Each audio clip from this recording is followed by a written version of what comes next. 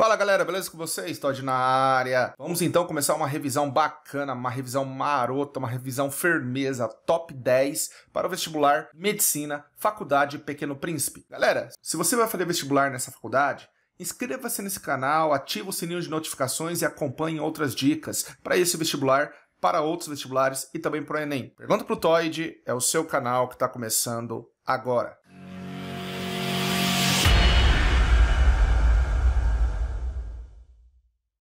É isso aí, galera. Sem mais demoras, vamos para a questão número 1. Um aluno de biologia coletou uma espécie vegetal que não havia encontrado no catálogo de bolso que carregava. Ele registrou todas as informações possíveis sobre essa espécie e encaminhou uma amostra para análise de um especialista em classificação vegetal. Dentre as características registradas, destacou flores trímeras, folhas com nervuras paralelas, raízes fasciculadas, sementes com um único cotilédone. O especialista, ao analisar as características características registradas, responde que não é possível saber qual é a espécie, pois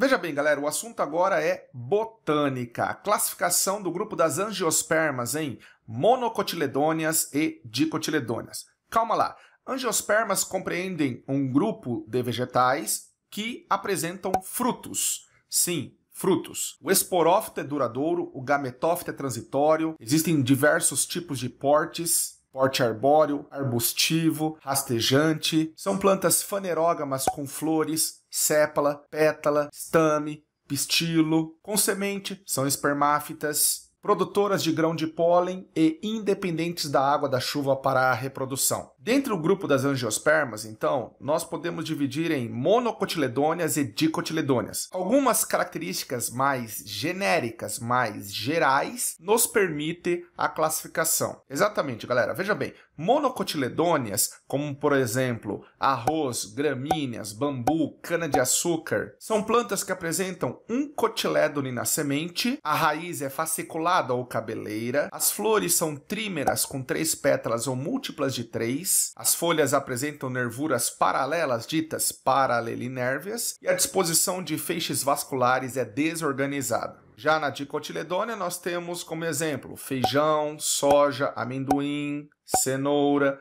o ipê. Dicotiledônia são plantas que crescem geralmente em espessura, Apresentam dois cotilédones na semente. Sua raiz é axial ou pivotante, com um eixo principal. As flores são tetrâmeras ou pentâmeras, ou múltiplas de 4 ou múltiplas de 5. As folhas apresentam nervuras em forma de rede, chamada de reticulinérvias, ou em forma de pena, chamado de peninérvias. Já a distribuição dos feixes vasculares no interior do caule é organizado. Com isso, nós podemos então fazer a questão. Vejam bem, o especialista, ao analisar as características registradas, responde que não é possível saber qual é a espécie, pois, letra A, com as características fornecidas pelo aluno, é possível concluir que se trata de uma dicotiledônia, por exemplo, feijão. Não, galera, as características, apesar de serem genéricas, referem-se muito mais a monocotiledôneas. B, Flores trímeras, folhas com nervuras paralelas e raízes fasciculadas podem caracterizar plantas dicotiledôneas e as monocotiledôneas? Não, galera. Assemelha-se muito mais às monocotiledôneas.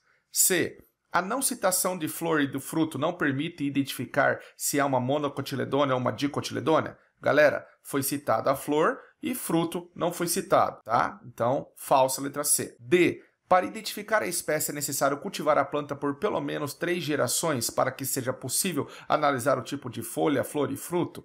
Nada a ver. Letra E. As características registradas são pouco específicas, é verdade, elas são mais genéricas, mas enquadrariam as plantas como monocotiledôneas, a exemplo as gramíneas. É isso aí, galera, resposta correta, letra E. Questão 2. Médico detalha tratamento que curou o paciente com ebola. No final de agosto, dois americanos, um médico e uma missionária, que contraíram ebola enquanto trabalhavam na África Ocidental, receberam alta de um hospital nos Estados Unidos e foram declarados recuperados. Eles haviam sido levados de avião da Libéria para o Hospital Universitário Emory, em Atlanta, no início de agosto, para receber o atendimento em sua unidade especializada em doenças infecciosas. Normalmente, pacientes que se recuperam da infecção por ebola desenvolvem uma imunidade muito robusta ao vírus, criam anticorpos contra o patógeno e também desenvolve uma imunidade mediada por células chamadas de linfócitos, tão importantes para formar um controle de agentes patogênicos virais. Em geral, a conclusão é que a pessoa está imunizada. Seria normal ter uma infecção com a mesma cepa. Pessoal, estamos falando de imunização.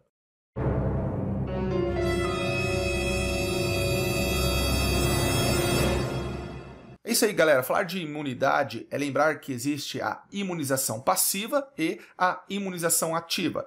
Imunização passiva é aquela que basicamente você não gasta energia para fabricar os seus anticorpos e você adquire de outras vias, de outras maneiras. Por exemplo, o soro antiofídico contra a peçonha de serpentes vem do cavalo, então você recebe os anticorpos. Isso é um exemplo de imunização passiva. Durante o aleitamento materno, você também recebe os anticorpos da mãe. Isso é uma imunização passiva. Na imunização ativa, que é o que se refere ao texto das pessoas que contraíram o ebola, a pessoa que contraiu o ebola passa a produzir anticorpos, gastando energia para isso, fabricando seus anticorpos através de células conhecidas por plasmócitos, ok? Então, a vacinação, por exemplo, ela vai promover uma imunização ativa. E o que é a vacina? É uma substância que contém micropatógenos atenuados ou mesmo mortos, injetando em você para que você fabrique esses anticorpos. Quando você adquire uma doença, você também realiza a imunização ativa, fabricando anticorpos. Esses anticorpos são chamados também de imunoglobulinas e células de defesa, conhecida por linfócito B, guardam a memória para aquele tipo de vírus, patógeno, micróbio. Ok, galera? Assim sendo, vamos responder a questão. Olha só, a imunização desenvolvida pelos pacientes infectados e curados caracteriza-se por ser, letra A, passiva? Não, galera. Os pacientes infectados e curados desenvolveram uma imunização ativa e não passiva. Letra B, ativa, uma vez que o organismo gasta energia para fabricar e produzir os seus anticorpos? Perfeito, galera. A resposta correta então é a letra B. Letra B, marca aí. Questão 3. Esforços consideráveis têm sido realizados para isolar e identificar compostos neuroativos nas secreções de aranhas e vespas, resultando na descoberta de muitas moléculas que bloqueiam os receptores de glutamato e ou canais de cálcio. Assim, Vários desses compostos se tornaram modelos estruturais para o desenvolvimento racional de drogas neuroprotetoras para diferentes desordens neurológicas. As pequenas moléculas orgânicas existentes em muitas das secreções tóxicas de aranhas e vespas são candidatos naturais à bioprospecção de compostos líderes para o desenvolvimento de drogas de uso neuroterapêutico e ou como bioinseticidas seletivos. O bloqueio dos canais de cálcio pode produzir prejuízos por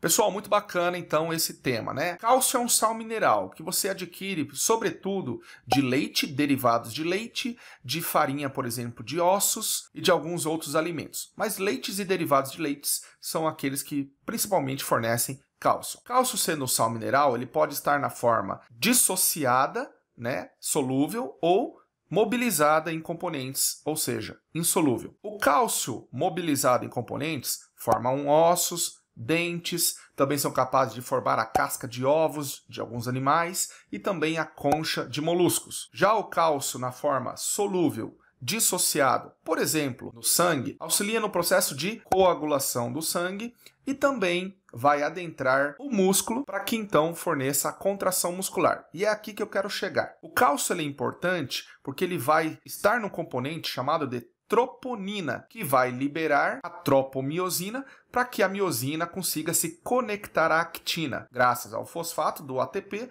então você tem a contração muscular. Eu vou repetir. O cálcio se liga à troponina. A troponina desvia a tropomiosina, liberando a actina a fazer a ligação com a miosina, promovendo a contração. O exercício fala que você bloqueia os canais de cálcio. Bloqueando os canais de cálcio, você não vai ter mais a contração muscular, provocando aquilo que nós chamamos de tetania. Assim sendo, vamos ler. O bloqueio dos canais de cálcio pode produzir prejuízos por, letra A, Aumentar a frequência cardíaca? Não, na verdade diminui, provocando a parada.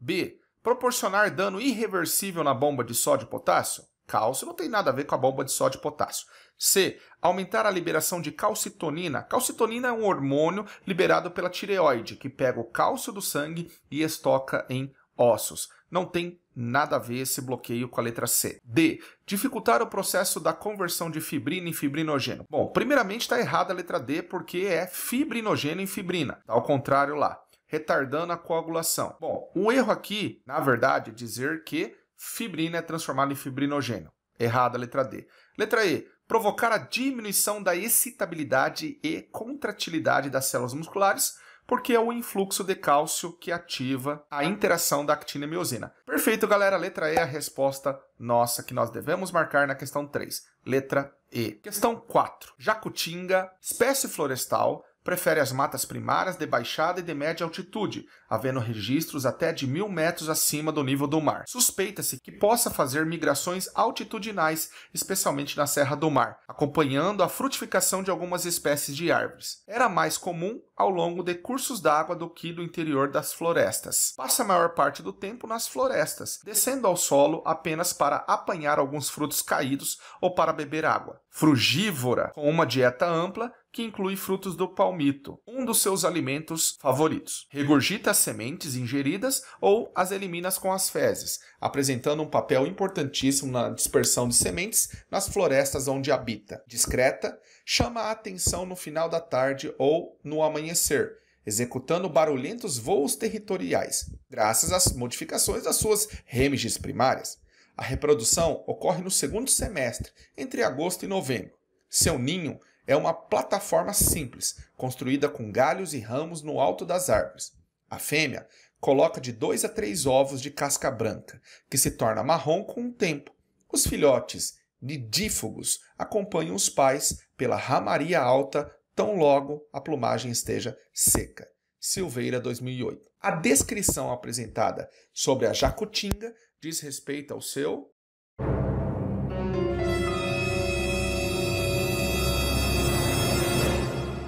É isso aí, pessoal. A gente vai falar de ecologia, tópico muito importante para muitos vestibulares, inclusive da Faculdade Pequeno Príncipe. Na ecologia, nós temos alguns conceitos que precisamos entender. Conceitos como, por exemplo, habitat e nicho ecológico refere-se ao exercício. Então vamos falar deles. Habitat corresponde à moradia, o local onde determinada espécie vive. Simplesmente onde ele vive, nada mais. Já nicho ecológico vai além disso, descreve detalhadamente a vida do ser, do que ele come, se ele é presa ou predador, como que é a sua reprodução, em que época do ano bota ovos, em que época do ano procria, se ele é nômade ou se ele é sedentário, e assim vai. Como o exercício fala sobre a descrição, vejam bem, ó, lá no final, a descrição apresentada sobre a jacutinga diz respeito ao seu, falou descrição e falou de várias características desse tipo de animal, então eu estou me referindo a nicho ecológico, galera. Letra C, habitat é moradia da espécie, biótopo é moradia de uma população, por exemplo. Letra D, nível trópico ou nível trófico tem a ver com cadeia alimentar. E letra E, potencial biótico tem a ver com população. Então nós ficamos como correta letra C, nicho ecológico. Questão 5, engenharia genética. Agência FAPESP, pesquisadores da Universidade Northwestern, em Chicago, Estados Unidos, criaram uma técnica capaz de utilizar moléculas de DNA para construir estruturas tridimensionais feitas de nanopartículas de ouro. Os cientistas trabalharam com partículas de ouro de cerca de 15 nanômetros de diâmetro e anexaram a cada uma delas fitas duplas de DNA, uma fita sempre sendo mais longa que a outra. A parte de fita simples do DNA, a maior, serviu, segundo os cientistas, como um DNA de ligação, que procura uma fita simples complementar anexada a outra nanopartícula de ouro. A conexão das duas fitas simples completa a dupla hélice, ligando fortemente as nanopartículas entre si. Se a fita simples utilizada de molde para fazer a fita complementar do DNA possuía 150 timinas e 50 guanina, e se nessa mesma fita existem 270 bases púricas e 270 pirimídicas, o número de timinas na dupla fita de DNA é igual a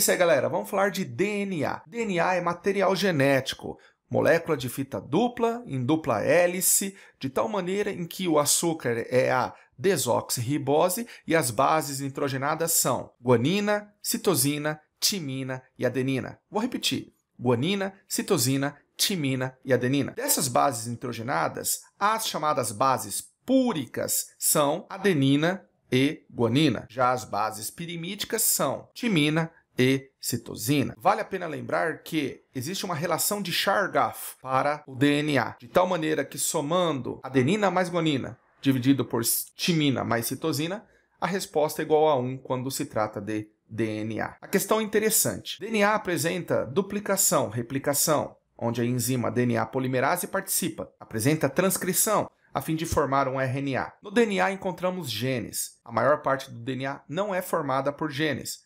É conhecido por DNA lixo. Galera, para resolver essa questão, eu elaborei isso aqui, ó. Veja bem. Então vamos lá. O exercício fala que a fita simples utilizada como molde apresenta 150 timinas e 50 guaninas. Consequentemente, a fita que vai se ligar a essa fita simples, citada no texto, vai ter que apresentar 150 adenina e 50 citosina, ok? Bases púricas corresponde a adenina mais guanina.